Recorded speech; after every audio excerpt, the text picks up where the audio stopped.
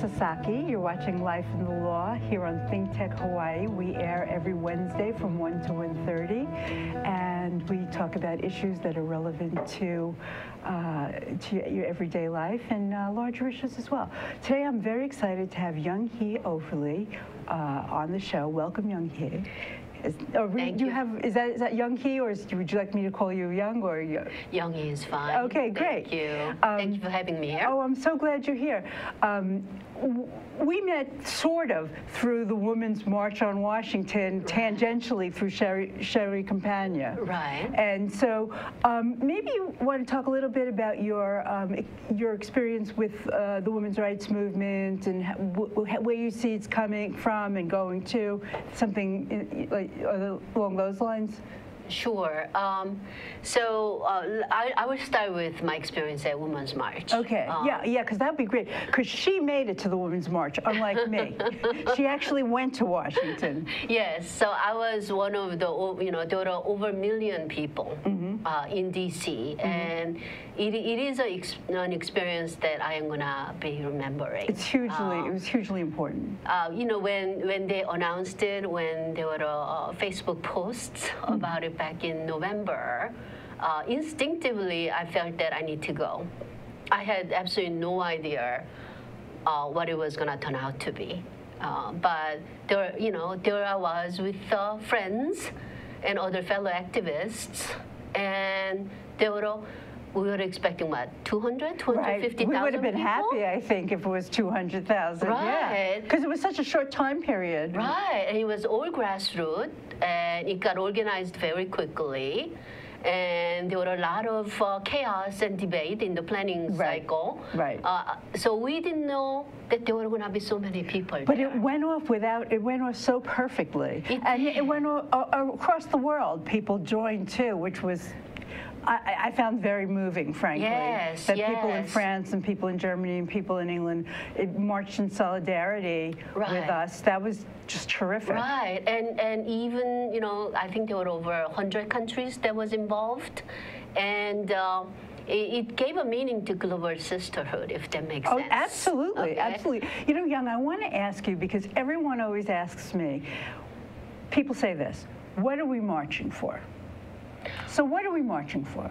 I, I have an answer, but I want to hear your Sure. answer. My answer is uh, instinctively when it was just getting formulated as an idea on, on Facebook, I felt that I need to be part of this because we need to be visible. Mm-hmm.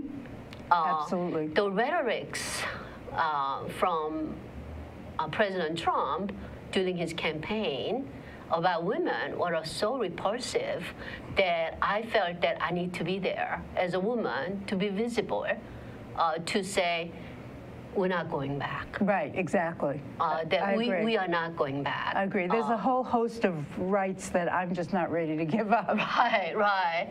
And and to be joined by millions of people, men and women.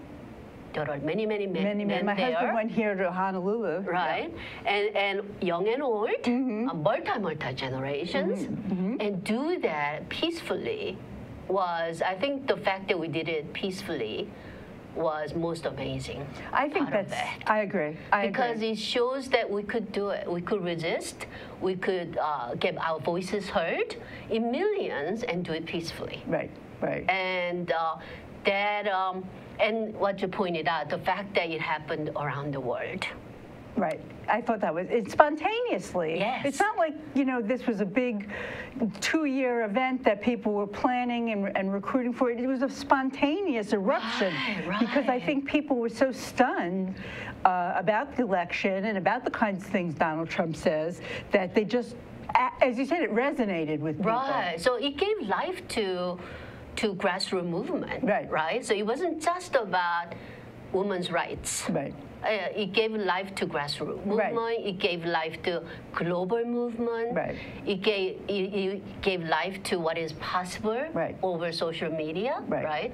So there are so many aspects of the march that I'm sure there'll be case studies and case studies. I uh, think so. about Well, them. you know, I think the march affected um, this temporary restraining order in Washington. I mean, there's such a clear voice for certain causes, you know, and uh, they, it's clear people are not going to stand for certain, you know, behaviors. We're, we're not going backward. We're not. We're not going to prevent somebody from entering the country just because of what religion they might practice. We're, we're just not. We're just not giving in. And I, it's. It, you can't ignore that. If you're an intelligent person, Right. you know, like you're a judge, you can't ignore that there's so many people that just it's averse to their ethical code, you know. Right. Act- Actually, I think what this what's going on uh, in this country and perhaps in the world is us reflecting on what rights are we now willing to give up, right? Right. And and what are we marching for? Right. Uh, and answering it at personal level and, and how, how do I do I fit into the bigger movement? I think many of us are asking that question. Right. Me, I am. I'm certainly asking that Right, question. What, what can I do? What am I going to do? How am I going to participate going forward? Right. And what was so exciting uh, was that there were so many young people involved in this. So many. It was great. Yeah, It was the, great. The, the main organizers are young Right, themselves, right, right? They're younger than me for sure. Yeah, Uh, me too. and and then it's also giving the young generation uh, energy to fight for the kind of world they want to live in. Right. So so that was very empowering for me to see uh, so many young people there. Uh, I and my friends also took nine college students with us. oh, did you? Uh, yeah, from the, from the students who, from North Carolina. Oh, that's To terrific. the march. That must have been Um, fantastic. and it was just great to be with them. And they have left also saying, uh, I'm, I'm going to quote one of them. Uh, he said um, that this is a life changing experience for me. Good. And he thanked us uh, for bringing him. Good. He thanked us for Good. asking him. Well, it really is, you know, when you're in your formative years and you you become part of a group and your heart and your spirit are so into the message and you realize that like everybody's for one and uh, you know you're part of a large dynamic organism. It's very moving. It's very Mm-hmm. influential. You know what i mean? Right, right. I mean, it certainly happened to me in the 60s and 70s when I marched for uh, various things against the war, women's rights, you know, anti-apartheid. You know, it's all, it's awe-inspiring to it is to participate. inspiring, and and like you said, uh, we we are one of the organisms of a bigger, Right. bigger word, and and uh, it gives a purpose, right? Right. At personal level. Right. So, so you know, and, and I'm obviously. Um, I didn't get to participate in 1960s movement. Good, you're nice and young. now I get to do it, Yeah, right? well, it, it really feels very similar. I mean, where people just aren't going to take it. They want they're busting out of their everyday humdrum lives to sit, take a stand, a political stance. The, after the 60s, everybody just sort of accepted things. Reagan, they accepted things as they went on. But people are no longer willing to sit back and just go to their job and accept things and accept things that are coming down, you know, by executive order or whatever. They they they're not. They they're standing up. They're going to the airport. They're going to Washington. right, You know I right, mean? right. It's just not gonna. It's just not gonna fly. you know? Right, and and all the uh, executive orders that has come out, uh, the gag orders, Mm-hmm. uh, whether we are talking about to EPA or global gag rule that he Mm-hmm. reinstated, um, that I think it's gonna get us to more to resist. I think to so. push back I think that's right. because one of the fundamental uh, rights we have as American uh, is our right of speech, That's right. freedom of speech. right. And the very fact that that okay, I, I, let me step back. A- As an executive, uh, President Trump does have right to put gag order on specific things Right. because there's a reason right, for, for a it. reason. If, the, if it's a compelling reason, yeah. other presidents have used that, Right. right?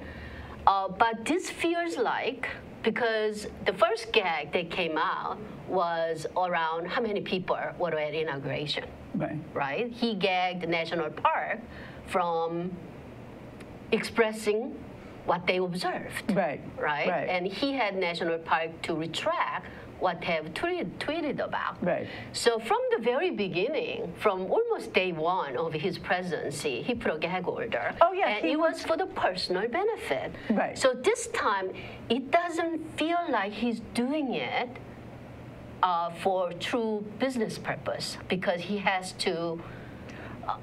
He has some project or some bill I think that it feels inauthentic. I think you're right. correct, and it feels like he's doing it for selfish reasons. Right. And I think, I think Americans are smart.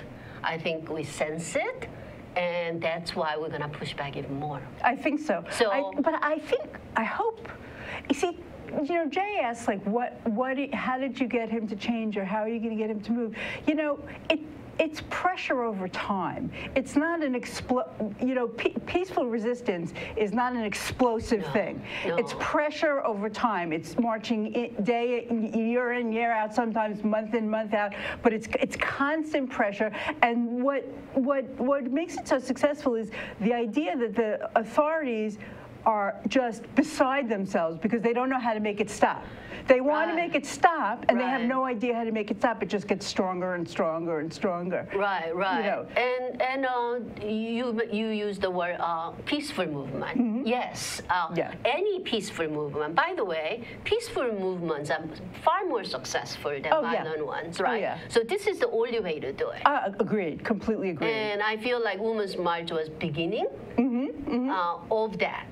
And um, it does take a long time. It does, because people have to know that you mean it and know that you're going to stick to your gun. You know, there's going to be a women's strike uh, on um, February 17th. There's going to be a general women's strike. So that should be interesting to see if people actually take off of work and don't go into work. And eh, there, there's going to be a LGBTQ march during uh, Gay Pride uh, uh, week in in in, uh, in Washington. So this is like these are the things, the upcoming things that people are like, oh, they're not going to wa- away. They're not going to give in. We're not going to be able to scare them or shut them up, which is what they want to do. They want Correct. that mm, Trump wants to silence the press. He thinks the press should just shut up. Like that's like Isn't that what Steve. Bannon said? Right. press just listen, shut up and listen. Right, Um, exactly. it's that's an unconstitutional statement. I mean, there's provisions for freedom of the press in the Constitution. It's a very significant right we have to a free press. And it's also a fabric of who we are as America. Mm-hmm, And when you take something so precious like that, so by the way, something we take for granted, right? Because I took it for granted that, that I had I- freedom of speech. Right before the election, I, I think I did. Right. And to feel that that's being threatened, Right. I mean, this is what makes America truly great. That's true. And and for and I say that as an immigrant. That which is the most powerful uh, a testament to uh, the American idea, the Amer- American project. But we're going to take a quick break, and we'll go back when we come back in just about a minute. We'll continue our discussion about Right. our place in society. Hi, I'm Tim Apicella. I'm the host for Moving Hawaii Forward, and the show is dedicated to transportation and traffic issues in Oahu. Um, we are all frustrated by sitting in our cars uh, in bumper-to-bumper traffic, and this show is dedicated to talking to, with folks that not only we can define the problem, but we hopefully can come to the table with some solutions. So I invite you to join me every Tuesday at 12 noon, and let's move Hawaii forward.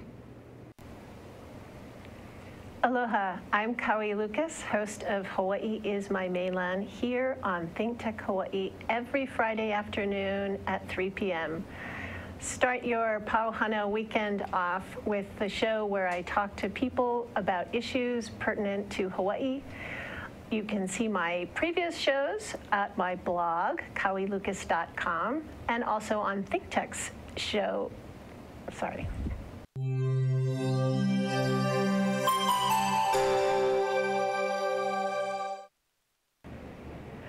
Hi, I'm Maryann Sasaki. You're watching Life in the Law. We're with Young Overly today, talking about peaceful resistance and the women's movement. And you know, and and you, Young, just before the break, made a a wonderful testament to the, the power of the idea of the United States of America because she's an immigrant. And, Right. and, and tell me what that means for somebody that's an immigrant. Tell me, I mean, because that's something I learned in school and I, I, something I truly believe in. I feel patriotic, but I think you must experience it much in a much greater way. Right. So I immigrated to the United States uh, in 1974 from South Korea. Uh, most of my life uh, in South Korea, President Park was the dictator. Okay. He was a military general uh, who took over the government uh, and ruled with iron fist. Right. Um, and slowly we watched uh, freedom being taken away, including freedom of press Right. that we just talked about. And one of my earliest memories I have is my dad donating money to, we weren't well to do, mm-hmm. but he still somehow managed to find money to donate to a newspaper. The very last newspaper they resisted President Park Oh, before wow. he was shut down. That's right. such a heroic thing to do. So the newspaper pretty much operated on individual donations for years. And my dad was one of the donors. So message I got from my dad through that act, although he did not say it, anything explicitly, was that we have responsibility as individual citizens to stand for what we believe, We do. even if it means just donating money Right. to support what he believes in. you do what you can. You know, sometimes people people don't know what they can do and they feel like, well, I can't go to Washington, Washington so I can't do anything. But that's not true. Any little thing you can do, any little light you can shine on the problem is is a help. I mean, I think it's to each person according to how they what they can do. I, I you know, you know. And, and that's how I translated that what he, his action. And the other thing he did voice was why it was important to him Right. that he got information. Right. That balanced information, Right. not propaganda. Right. And I think he said what he said because he's originally from North Korea. ah, okay. So he's really he familiar. escaped North Korea during Korean War. Mm-hmm. Uh, so he understands the value of freedom of information Mm-hmm. and speech. And what was happening to the press was so against his belief. Right. What he came to South Korea for, right? Right. So that's what I watched. So coming to U.S. in the middle of all that uh, in 1974, and realizing that there wasn't that level of oppression here. Right. And then I started to take it for granted. Well, we shouldn't because, you know, we're starting to see again institutions being shut down. Right. Um, oppression, oppression of speech. Uh, you know, I was, I, we originally uh, talked about, and this is something that, you know, this, this, this incident has made me nuts, that uh, Elizabeth Warren was silenced in the Senate for reading a letter by Coretta Scott King. Now, I don't know if people realize, but Coretta Scott King stood beside Martin Luther King in very nearly everything he did. You can, if you look at pictures of her, she's there. Right. So it's it's it's particularly it's a, a particular kind of insult to want to silence this kind of voice, you know. Right. And it, it just was it was also you know i found it talk about inauthentic. I found it a little bit inauthentic. I thought that uh, the, the mitch mcconnell was posturing for the senate because really what she was saying was not really didn't really insult sessions very much didn't impugn his reputation but th- they're just getting puffed up. They, that they, they won't tolerate anything. They, they're showing they're not going to tolerate any speech anymore that's averse to their interests you know? So Well, the, uh, it- it was, uh, I think, Senator Udall who ended up finish, finishing reading um, Coretta Scott King's letter Oh, when really? it was his turn. Oh, right? okay. In, uh, in honor of uh, Mrs. King, but also in honor of Elizabeth Warren, Right. in support of her. Right. But the very fact that uh, as I'm watching, uh, I'm, rather, as I'm reading about what happened, I can't help thinking, Tom versus Elizabeth. Why is it that Elizabeth was shut down but Tom was. Well, I'll tell you why. And it's the same reason, and people are going to disagree with me, why Betsy DeVos came so close to not being not not being appointed. And I disagree with her. I do heartily disagree with her. But you know what? It's easier to shoot down women. Correct. It's easier to Correct. stop women. And Correct. and and people, I, I said to people, you'll see if they if they're successful, they'll be successful um, with DeVos because people are they understand the woman thwarted. Like they, they think women should t- step down, should step aside, should listen to a male authority figure Right. who's saying be quiet. Right, right. It feels it feels normal to people. It feels comfortable to Right, them. You know what I culturally mean? accepting, Yeah, right? right, yeah. Perhaps e- even without realizing that that's what Oh we yeah, are doing. no, I'm, and these no, I know absolutely not realizing because you know in the case of DeVos, obviously it was liberals, but I think people really need to examine what they think is normal, what is acceptable, because, you know, I've talked to so many women, and lots of women my age, a little younger, you know, I've never been discriminated against, but, you know, you have to think, what does that mean? Yes. You know, I mean, have you ever been looked over because the boss like liked someone else because the boss liked basketball and so that person did too? That's discrimination. I mean, we, we really, we haven't really dug deeply enough into the psychology. uh, Hillary Clinton, I believe, lost because of discrimination. Into how deep, deep, deep rooted. Uh, uh, this fear of powerful women is. It's, I mean, it's hugely deep rooted. You know what I mean? Like, like us, people don't like us. we should be quiet. People think. Yeah, and and you know uh, the argument is, oh, she was warned, and she ignored it and continued on. Right. Guess what? Uh, hundred years ago, women were warned as well, Right. but without them, women wouldn't have rights to vote. Right. right? So, so at times, uh, at times we have to reflect on ourselves and examine our own cultural bias on things like that. But, agreed. but you know, reading it, that was first thing that popped into my mind is why was Elizabeth shut down when Tom wasn't? How It- come he got to finish reading But you know, when you ask those questions, I ask those questions every day, almost, really, literally, and to uh, typically to men in power. And you know, when you ask those questions, people respond by saying. "Wh- You're hyper focused on this issue, or this this is just a coincidence that it was Elizabeth Warren. But you know, how many coincidences can there be? You know, how much repeated behavior do you have to witness in order to realize, hey, this is a deep rooted uh, bias against women. Right. It is, it is a deep-rooted behavior. Right.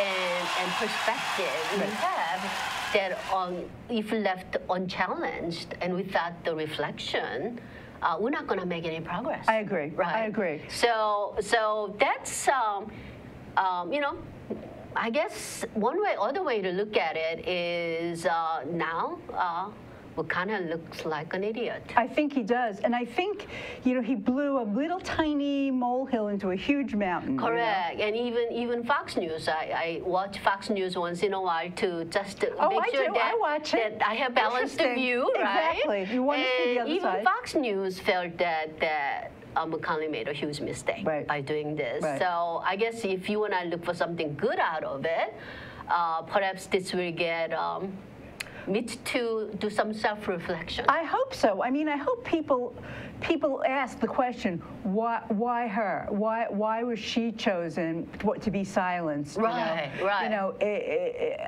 eh, to me the answer always is is very clear. But you know, you know, you're talking about giving up rights and us thinking about what rights we're going to give up. You know, part of the problem is, you know, somebody is going to have to give up rights, and like the dominant male, you know, the male white men who've had extra rights really for the history of this country are going to actually have to give up some of their privileged rights, you know, mm-hmm. and you know, so that we can all, in order for us all to be able to sh- and share in those and to participate in those. And whenever I see somebody like Mitch McConnell, I always think, well, you know. That's your last holding on. You're like you. You need to hold on to that. You can't. You just can't let that go. You're just not going to let the.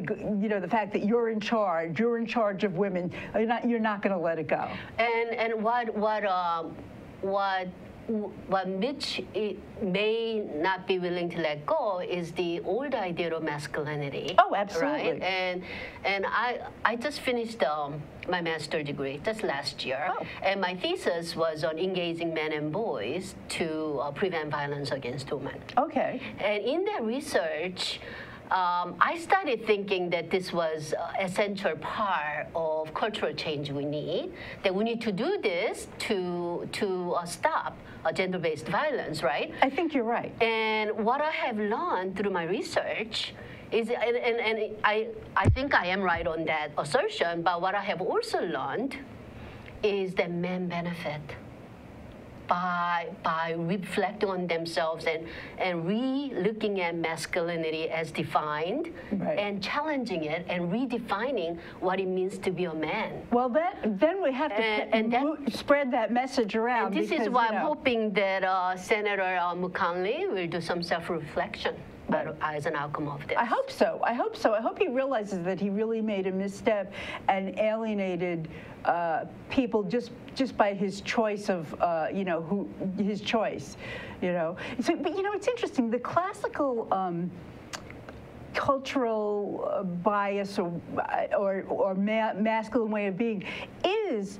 uh, a violence toward it's, it's not even a violence just toward women it's a violence it's an aggression toward the world this is how men were, were taught to Correct. be men Correct. uh, through aggression and, and, and it is it is unnatural for many men, but I think it is right? Yes. To to to play the Right. role of mas- you know man as defined by a Western definition of masculinity. Right. So so again, um, you know that's I couldn't help thinking through that today as I was reading, saying would it this would will the fact that this has become bigger than it needs to be Right. for uh, Senator McConnell, would that force him to think about himself? I hope so. I Uh, certainly hope so. you know, I, I also know, and we're running out of time here, that it was a, a letter by a woman woman that was oh. also silenced. So it's I know. it's so complicated. It's so multi-layered. How deep how deep Yes. it goes. And nobody wants to look. People are always like, oh, that's just a coincidence, or that they would have done it with anyone. But you know, yet she, there's a woman reading a letter by a woman who's silenced by you know the head of the other party. So. And the very, very fact that Senator is from the South. Yes. Right? Right. And very fact that there are uh, photos of him behind with the Confederate flags He being posted he everywhere. can't change his Come stripes. on. Uh, it's, uh, people are connecting the dots. Yes, yes, I We are not that. the only people who are connecting the dots. Let's hope the Senate connects the dots, although I don't think they will. I want to thank you so much for coming. Thank you it was so